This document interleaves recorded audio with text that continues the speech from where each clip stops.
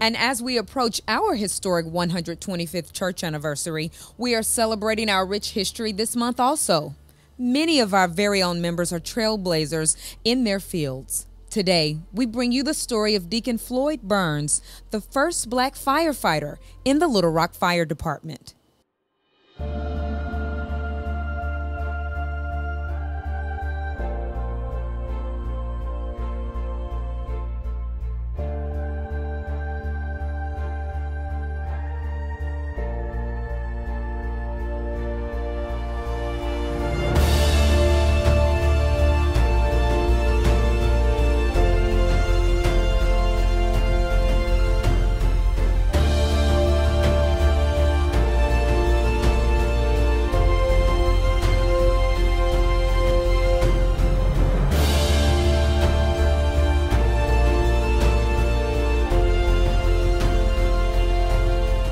My name is Floyd Burns. I was the first African American that was hired to the city of Little Rock for the Little Rock Fire Department.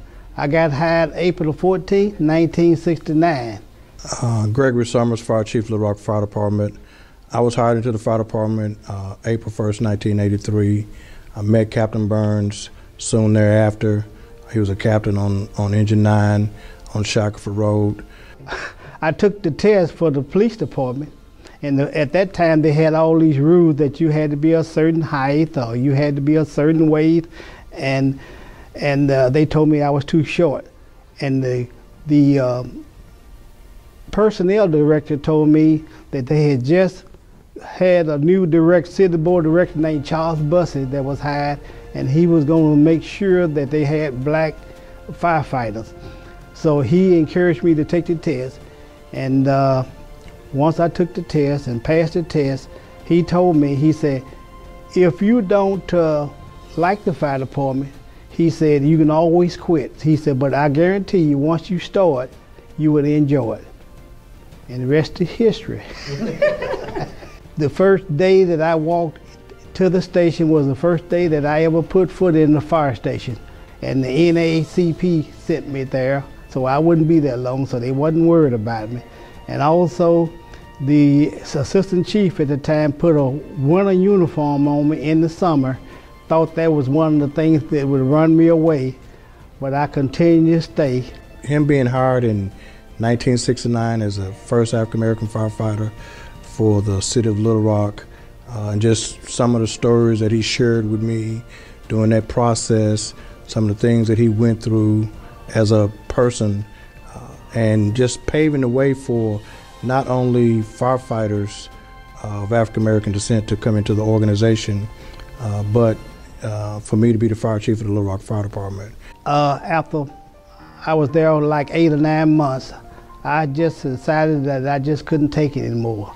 So uh, anytime we was up drinking coffee or eating lunch or supper or whatever, it didn't make no difference what the conversation was about. It ended up on Black America. I ran into one of the uh, friends of mine that was on the police department, asked me how, how everything was going, and I told him that I was getting ready to quit. He told me, he said, Burns, do not quit. He said, that's what they want you to do. He said, wait until you get your probation period in, and then things would make a 90, de 90 degree turnaround. So I took his word, and that's the best thing I ever happened to me.